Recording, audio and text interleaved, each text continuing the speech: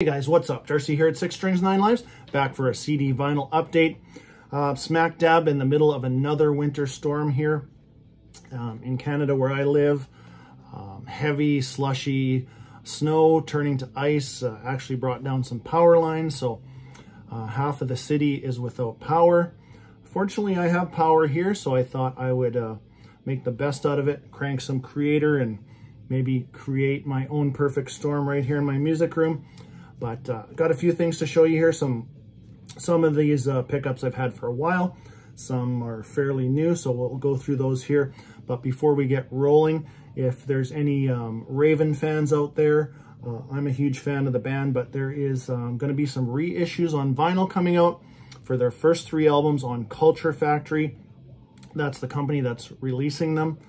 Um, I had seen the pre-order for All For One, which is their third album, come up probably a good six, seven weeks ago. And I did pre-order that one and I thought it would be cool if they, you know, released all three of their first albums. And um, lo and behold, I was on my computer the other day and sure enough, they are going to release their first album, Rock Until You Drop, and their second album, Wiped Out. So I'll kind of show you, I'll just show you my CD versions of what's coming out on vinyl.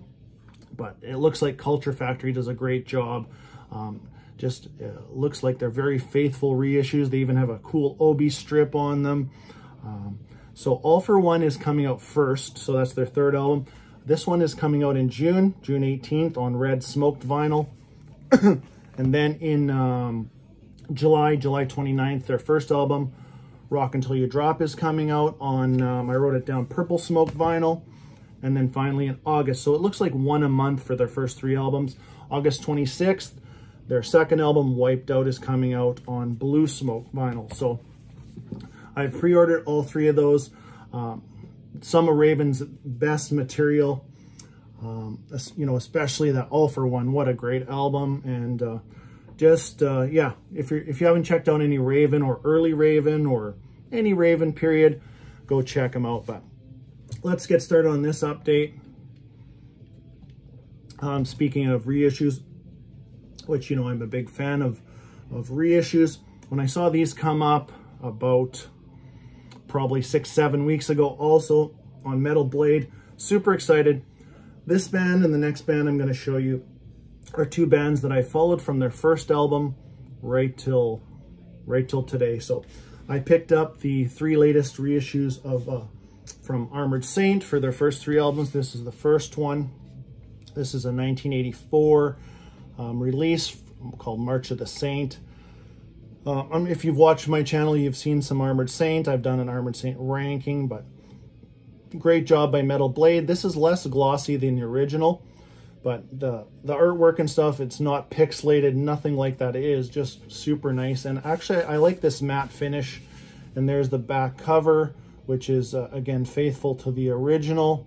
It's got on here the Metal Blade logo, and then in this corner you have the capital and the Chrysalis logo there. So these ones I ordered from, um, there's there's a few um, uh, places that dis or you can pick up Metal Blade stuff. Um, Indie Merch, Eyesore, and this one, Kings Road. I decided to go with this one because there were some of the coolest colors and uh, the most limited, which not a big concern, but the colors were awfully cool. So the first March of the Saint comes on a pastel blue, limited to 200. These versions are number 168 of 200. And let's show you that vinyl and then we'll show you the inner. So yeah, great job by Metal Blade with their, their nice anti-static sleeves. Always uh, a nice touch. And here is that pastel blue. Got some black fleck in it, but uh, um, you know what? And if, if you're not familiar with Armored Saint, kind of a band, hard to pinpoint. They're not, they were never, you know, glam or hard rock. They were never thrash. They're just, they're just metal. Um, that's uh, how I can best describe them. Uh, even the stuff they wore in those first, um, you know, first few years, which I'll show you some photos here. Um, Little surprised there was no poster in these. I, you know, probably just trying to keep the costs down. And there is no download card because usually I'll just give those away. So sorry those aren't available, but here is the inner, um, and it opens up into, it's a four page inner, and there's those kind of uh, outfits they were wearing at the time that I was telling you about. But if you never heard this album, uh, I, I really enjoy this album. One of my favorites from Armored Saint, March of the Saint, lead off track. Uh, first song I ever heard from them back in the day on Canada's Much Music was Can You Deliver? Uh, just, yeah, Stricken by Fate, False Alarm. And here is uh, kind of the live shot. They're sitting on some Hondas, as we call those here, uh, crotch rockets, quite fast bikes. And uh, what's cool is they have a write-up from each current band member. So they even have Jeff Duncan. So Jeff's been in the band for ever since, you know, uh, shortly after Dave had passed away, Dave Prichard, may rest in peace. Um, Jeff's been in the band, so kind of his perspective, and then you have, you know, John, Joey, Gonzo, uh, Phil, little write-up, you know, regarding that album. So there's that one. And then here is their 1985 release, Delirious Nomad. I always I always say that's Billy Idol's brother, but uh, probably isn't. But there is, uh, and always kind of a weird cover too. But here's the back cover again, less glossy, nice matte finish. Um, I I'm a big fan of Metal Blade. I always think they do. They're one of my my favorite labels. Period. And when they do reissues, they seem to do them really well. And this one came on a orange, red, brown marbled vinyl. So that is number 39. There's the hype sticker.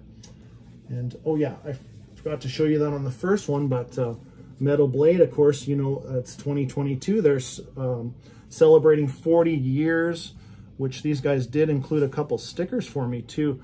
Um, there's Metal Blade 1982, Los Angeles, and then the Metal Will Never Die, Metal Classic Axe logo. nice to include a couple stickers. And this vinyl is a, what did we say it was? Orange, red, brown marbled vinyl. Um, these are 140 gram. I, I, I, like, I don't, I'm not always a big fan of this 180 shit, uh, heavy vinyl that punches holes into things and razor sharp on the corners. This is, this is just fine by me right here. So you got that cool uh, marble marbling with the black marbling in there too. And uh, let me show you this album. Uh, that first album was actually produced by Michael James Jackson. So um, one of the albums that I always know he produced is one of my favorite Kiss albums, which is Creatures of the Night. So, um, and on this album, Delirious Nomad, they used another famous producer, uh, Max Norman. so this one they did most of it was recorded as a four-piece. This is when Phil had left the band. He's, he's since rejoined years and years ago, but um, and the late great uh, Dave Prichard, as I was telling you, and you know some of these guys. You you know John Bush from his Anthrax days. Uh, Joey Vera, also a part of um, Fates Warning. He's the current touring bass player for the uh, Mercyful Fate reunion tour, whatever they're doing. And uh, yeah, let's uh, open this up so you can have a look. So there's the back that we showed you. And there looks like, um, you know, kind of the reverse or the, uh, the picture of where the guy's looking out the window on the front cover. Not full lyrics on here, but if you haven't checked out this album, there's tons of great tracks on here. Long Before I Die, The Laugh, great song. Um, You're Never Alone, released. Solid album. These first three Armored Saint are kind of must-haves if you're if you're an Armored Saint fan, and and the next one to come, which uh, uh, if you've watched any of my videos, you know how I feel about their fourth album, Symbol of Salvation. Uh, here's the last one, and I, I, don't know if I mentioned it, but part of the reasoning behind some of these or why I went with um, Kings Road is these colors were just phenomenal, and this last one came, came on a uh, Vivid Violet Marble Vinyl, number 31 out of 200. So here is their 1987 album and last for Chris, uh, Chrysalis Records. And then they went over to Metal Blade after that. But glad to see that Metal Blade got the rights to reissue these. it, it says right on here, first official vinyl reissue, remastered for vinyl. It says that on all three hype stickers. And uh, yeah, if you haven't checked out this one, I, I love the artwork of this uh, armored saint uh, character busting through the earth. And uh, it's got little details in here too. It's got somebody's swimming pool and part of somebody's uh, yard. And yeah, very cool. And there's the back cover like I mentioned, the four piece. But uh, check out tracks like Raising Fear, the uh, title track, awesome. Uh, not the hugest covers guy, but the cover of Saturday Night Special, a Skynyrd covered, uh, phenomenal. Uh, Isolation, awesome song.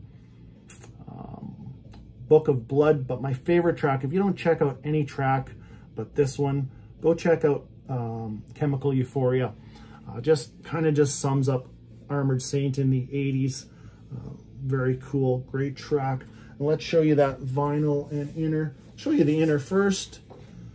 And there lyrics on one side, band shot of the time right here.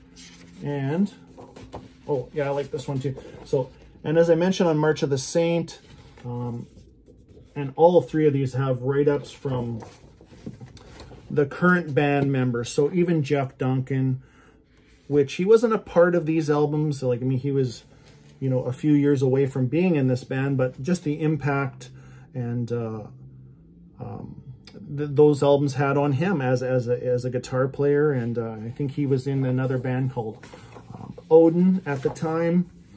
Another band I need to dig more into too. But anyways, let's show you this Vivid Violet vinyl. It's very cool. And here we go. Let's do that. Uh, did we get that right?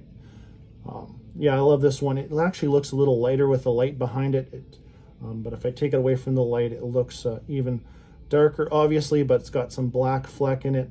Really a nice reissue. But again, those are out. I think they're all of, um, sorry, released April 15th. So they're there's quite a few variant, uh, color variant, black, there's black, whatever. They're reissued on CD. So Go get yourself some Armored Saint if you'd like. Next up, excuse me, I don't want to burp on camera, or maybe I will, but anyways, I mentioned before that there's a couple bands, well, Armored Saint being one of them, and another band that I've followed since day one. So pretty much since 1986, I've stuck with this band, and uh, they're they're most famous for their first two releases, Doomsday for the Deceiver and their second release from 88 called No Place for Disgrace. And I can't deny that those are uh, those are thrasher pieces for sure. But I think a lot of fans drop off a bit after that.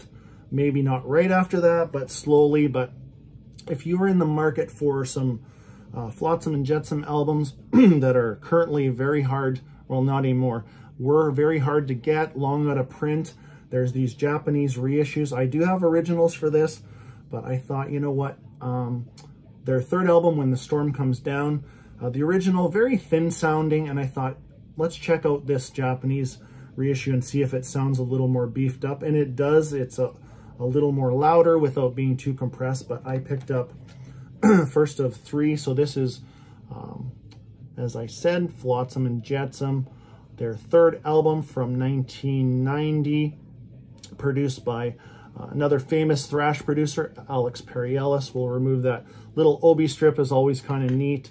I don't have many Japanese pressing CDs, but all of that I do have, the, the seven or eight sound really good, and they all come on this type of uh, just a, a silver plain disc. And there is the back cover. So yeah, third album, um, not my not my favorite from this band. Uh, I think that production did not help this album, but it is a it's a good thrash album, very uh, reminiscent of the late 80s, early 90s, that kind of thinner production, like, um, you know, maybe like something like State of Euphoria. Um, definitely that signature uh, Alex Perialas uh, production.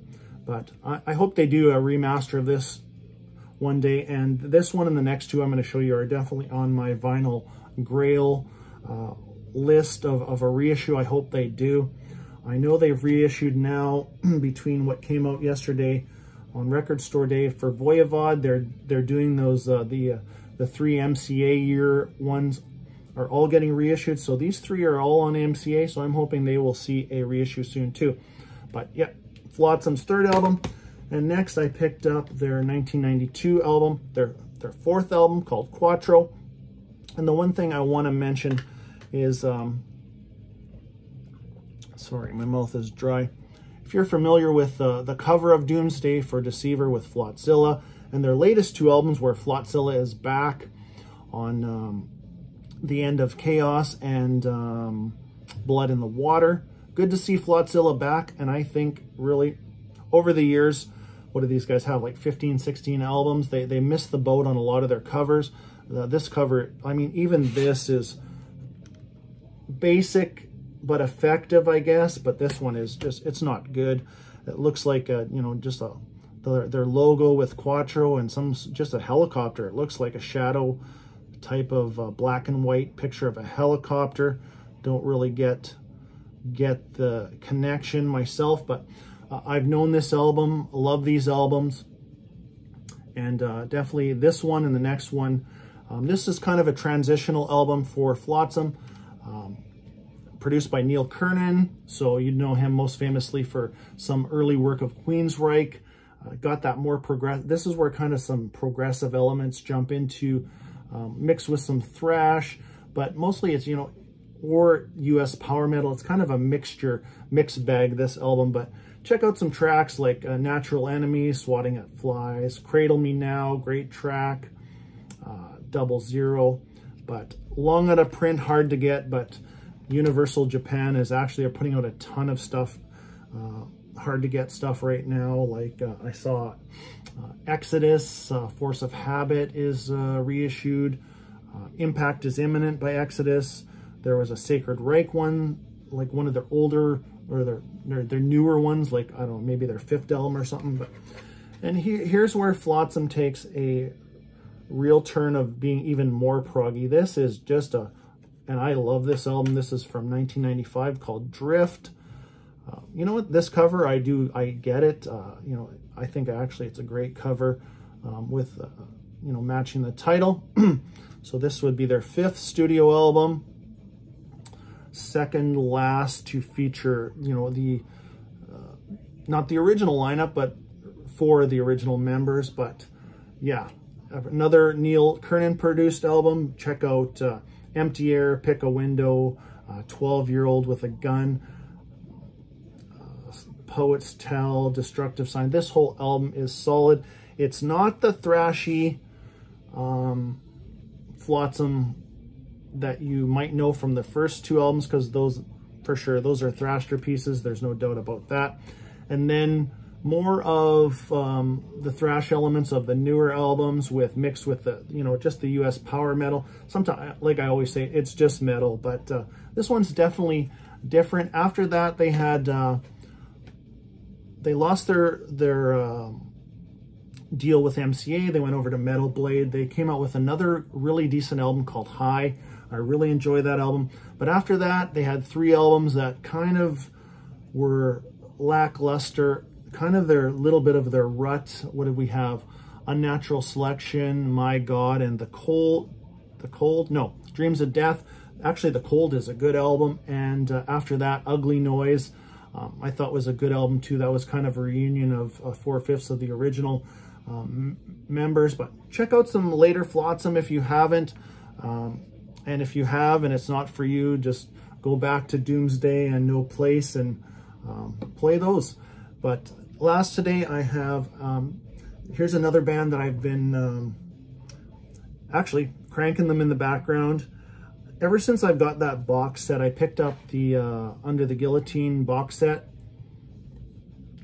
which includes the first six Kreator albums. And uh, I thought, you know what, I am going to someday complete my full Kreator um, discography on vinyl. Um, originally, when I was, you know, really, really digging into Kreator, it was always those 90s albums, you know, they're not, you know, they're industrial sounding, this and that. And I agree to an extent, um, but I've learned to really get to know their their albums like Renewal and then the three I'll show you. There's that 90s period that starts with Renewal. Uh, I did a, a, a, Kreator ranking video if you do want to check it out, but a couple things have changed since then, so I am going to put that on my list to update my Kreator ranking video probably later in the year after I get to uh, absorb uh, the new album that's coming out June 3rd or 10th. I forget the exact date now, called Hate Über Alles. Definitely looking forward to that one. One of my uh, albums that I'm most looking forward to this year. But I picked up some more Kreators. So this is their seventh album called Cause for Conflict on vinyl. I do have these on CD, but I, like I said, I'm going to complete my Kreator. I'm all in on Kreator. Let's put it that way. So so this is still my least favorite Kreator album. This is probably the most industrial sounding they sounded, if that sounds good to you. Um, anyways, um, you know, that and Renewal, um, just, yeah, kind of industrial sounding for sure. But I thought, you know, I'm still going to pick this one up because I've learned to like these 90s albums. This one, not as much as the other ones I'm going to show you, but this is a gatefold released on Noise BMG. So this wasn't part of that box set. Uh, this also has um, the A and the B side are the actual album. It's a, a, double disc set. The C and the D side are bonus material, which I don't really play that much. I just kind of play the main album. Couple inner sleeves here. So I think Frank, Frank, uh, I think this was the last album that Frank uh, Blackfire was in the band for. And then Tommy came in on guitars on the next two. So there's one inner.